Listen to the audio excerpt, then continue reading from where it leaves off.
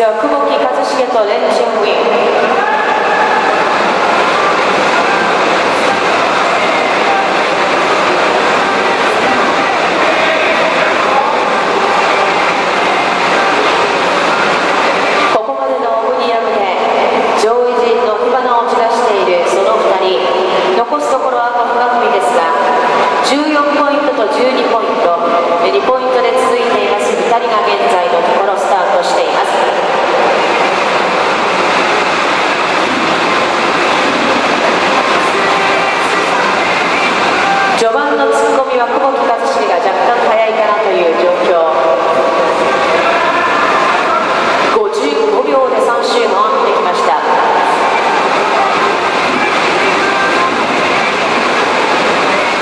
の1キロの突っ込みのペースは久保木一茂ここまでで一番速いかなというところで1キロのスプリントも1分11秒そして12秒とそれぞれに速いタイムを刻んできました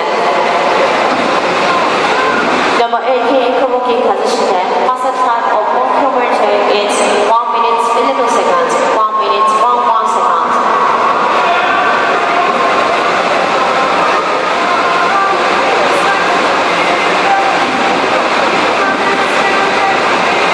まだ1秒ほどですが、久保木一茂のリードが続いています。1キロから2キロへ。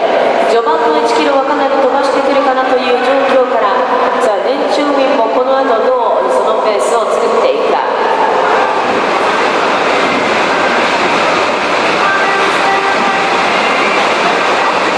時計は間もなく2分です。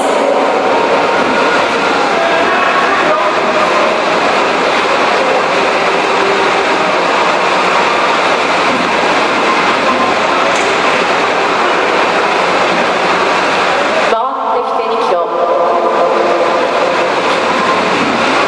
2分18秒ペースというところで回ってきました。順当にペースを上げているという感じ。久保木一茂時速換算でおよそ現在53キロアベレージというところで走っています。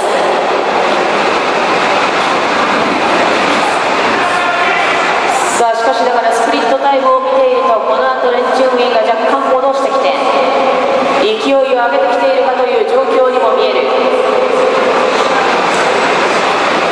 久保木一茂この後2キロから3キロどんなペースを作っていくかさあバックサイドのスプリットタイムは若干速いペースを刻んでいましたがほぼ並んだかさあほぼ並んで若干レンチュンウィンリードの状況に変わった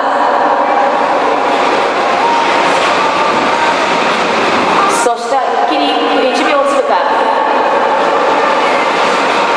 Now to number 9 with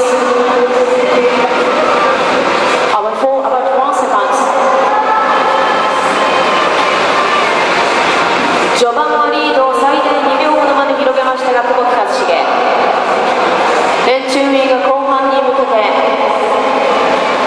ペースを上げてきて一気にその差を広げようというところになっている。その差2秒ほどついたか残り3周回